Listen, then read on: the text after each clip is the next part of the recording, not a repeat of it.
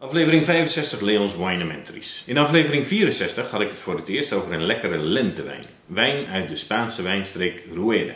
Deze week alleen maar lentewijnen, of ja, zomerwijnen. Vandaag proef ik een sappige zomerse wijn uit Portugal, een Vinho Verde. Of op zijn Hollands gewoon Vino Verde. Wie een beetje Spaans, Italiaans of Portugees spreekt, weet dat verde voor groen staat. Hier wordt echter met groen niet de kleur bedoeld, maar de betekenis van groen als jong. Vino verdes worden van jonge, vroeg geplukte druiven gemaakt en het is de bedoeling om de wijn ook jong te drinken. Wat maakt Vino verde nu bij uitstek zo'n geschikte zomerwijn? Allereerst een relatief laag alcoholgehalte en ten tweede een tinteltje in de wijn. De tinteling komt van een kleine hoeveelheid koolzuur die ontstaat tijdens de malolactische gisting. Omdat met een malolactische gisting ook een deel van de frisse zuren verloren gaat, kiezen steeds meer producenten ervoor deze gisting niet te laten plaatsvinden en het koolzuur kunstmatig toe te voegen, zodat de Vino Verde toch hun historische licht eigenschap behouden. Deze Vino Verde Casal Menges komt van Caves Alianza en is verkrijgbaar bij Gal. Ziet in een raar flesje, maar is qua wijn een hartstikke leuke keus.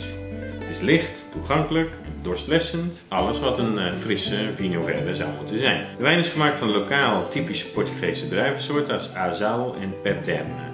Traditioneel laat men hier de wijnranken tegen de bomen aangroeien of worden ze langs meters hoge granieten palen geleid, zodat andere gewassen onder de wijnranken kunnen groeien. Extra voordeel dat de druiven hoog hangen is dat ze minder gevoelig zijn voor rot.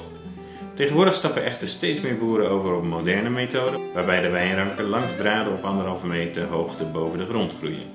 Dit systeem maakt machinaal oogsten mogelijk, vereenvoudigt het onderhoud en de druiven vangen meer zonneschijn op. Vinoverdes zijn overigens niet alleen wit, er worden ook rode, rosés en zelfs mousserende varianten gemaakt. Maar in Nederland zie je eigenlijk alleen de witte versie. En waar wordt Vino Verde nu gemaakt? In het Rios Minho gebied, in het noordwesten van Portugal en strekt zich uit van de rivier de Douro tot aan de rivier de Minho, die de grens met Spanje vormt. De Vinho Verde wordt van noord naar zuid omgeven door een aantal bergen en is een soort reuze amfitheater dat langzaam oploopt van de kust naar het binnenland. Dit gebied is een van de vochtigste van heel Europa.